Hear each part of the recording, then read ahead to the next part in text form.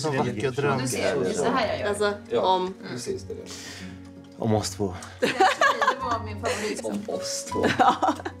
Vad gör ni för freaky shit? Gulligt.